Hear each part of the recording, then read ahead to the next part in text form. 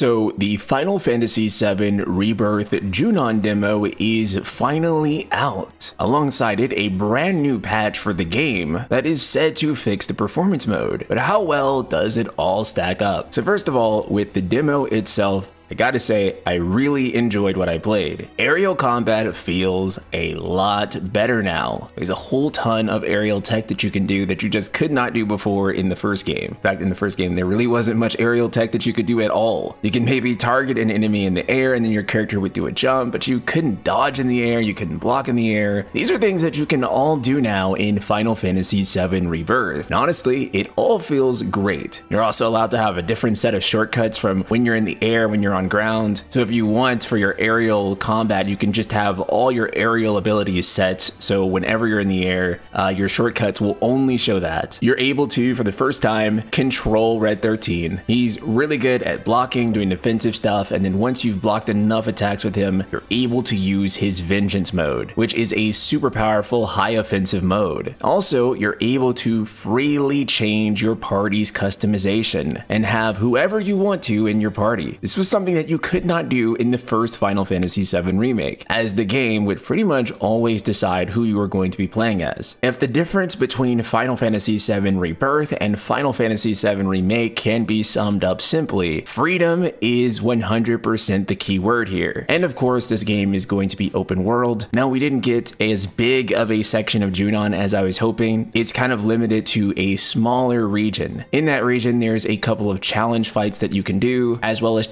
VR simulator. You do get the black chocobo here, but it's not able to climb the walls that it's been shown to do in the trailers. You see the markings there. Unfortunately, they disabled that in this demo. So you're very limited on what you can explore in Junon, but it allows you to basically explore the game's combat system to your heart's content. You can experiment with a ton of things and just really get a feel and practice playing the game until the final thing comes out. I know many of you are going to be playing that demo over and over and over again until you can get your hands on the final thing. I don't blame you. It's so much fun to play. You're also able to get your hands on Phoenix if you do the combat simulator. You get Ramuh by default, and so you have at least two summons that you're able to play with. They also give you quite a decent amount of materia as well, so you're able to just play around with your materia setup, really get a feel for these characters. The characters themselves already have a fixed materia setup, and of course, if you're a real FF7 fan, you're gonna immediately want to tinker with everyone's materia setup and min-max uh, setup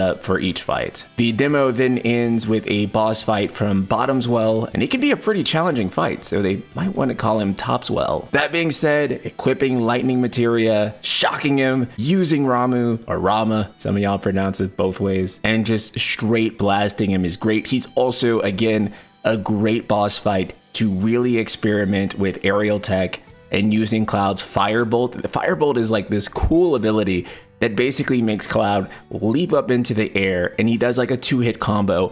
The first hit is with lightning magic and then the second hit is with fire magic, and it's really cool. So you're going to have these elemental abilities in the game that aren't necessarily just your materia loadout. Now, while exploring the world, you have fighting all of the enemies in an area, as well as doing the challenge fights and presumably other things within the final game that will allow you to get more intel from Chadley. Now, if you recall in Final Fantasy VII Remake, you had to use assess on all the enemies and do these like little battle challenges challenges in order to do his intel. The good news here is that you no longer have to go and meticulously use assess on every single enemy. It is all done organically through competing battle challenges and discovering new things throughout the world. And this is a much more fun way to do this. Of course, as you unlock these things, you'll be able to develop new and interesting materia. It seems that this is going to be the way that you get the absolute best materia in the game. This, of course, encourages players to explore more, where of course, throughout exploring, you'll probably find even more interesting materia. It's a really good formula. Of course, with exploration, I wish we got to do more of that in this demo, because I think the world is the big selling point of Final Fantasy VII Rebirth. You know, in Final Fantasy VII Remake, exploration wasn't really a thing that you got to do. It was run down the hallway, go to the next hallway, to the next hallway. I know, some of you really like linear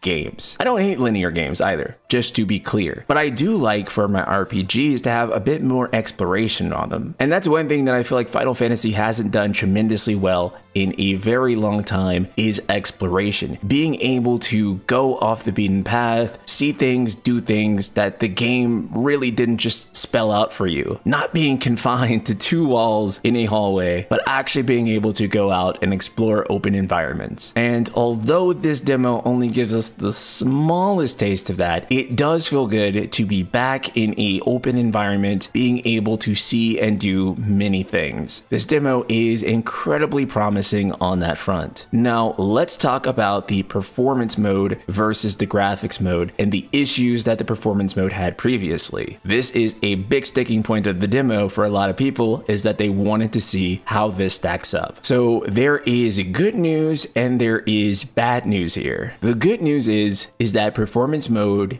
is much better in terms of image clarity. The bad news is is that I would still personally say that it's not perfect and it is still a bit blurry. It is not a very crisp 1440p image, which I think what's more surprising to me is and I didn't really know this at first, but quality mode is actually native 4K apparently. And it's a very solid 30 frames per second. So I think this is kind of interesting too that the performance mode which is supposed to be running at 1440p 60 60, it still doesn't quite look like 1440p 60 to me. Now here is the catch. I think that if you are on a 1080p screen, you don't have a true native 4K screen, then you should go ahead and play this on performance mode. Go ahead and get your 60 frames per second. The blurriness will probably not affect you as badly as someone who's on a 1440p and especially a 4K screen. That being said, if you are on a recent monitor with a higher resolution, then I still personally would probably recommend doing quality mode, at least on your first playthrough so that you can absorb these beautiful 4K visuals. The game is absolutely gorgeous and when I played it here, we did performance mode, but when you see it on quality, it's a noticeable, noticeable difference and it just looks so good. Visually speaking, this is probably the best looking Square Enix game ever made. I mean, whenever they do zoom ups on the hair and the face, it looks like those visual work scenes that we used to love so much. You know, whenever I think back on like Final Fantasy X, I always thought, wouldn't it be incredible if we could play a full game that actually looked like that? And now we can, and that's what it feels like Final Fantasy VII Rebirth is. So all in all, my experience with the demo was phenomenal. Both the Nibelheim section and this section in Junon have been really stunning. I'm thinking that this really is, from a gameplay perspective, the best Final Fantasy game they've ever made. I might be speaking preemptively, and I might have done that before too, but I just don't see any reason to doubt the team here. I think that Remake's combat system was really solid, but a lot of the supporting systems like the side quest and the world design and some of the padding were kind of the things that held it back. And now that they've worked on and improved those things surrounding it and improved the best part, which is the combat, I can really only see this game being one of the stronger FF titles that they've ever put out. All of which is to say that Final Fantasy VII Rebirth has my faith at the moment, and it is looking absolutely stellar. But these are my thoughts on the Final Fantasy VII Rebirth demo, and leave a comment below letting me know if you're going to be playing this game in graphics mode or performance mode. And I will see you all in the next video.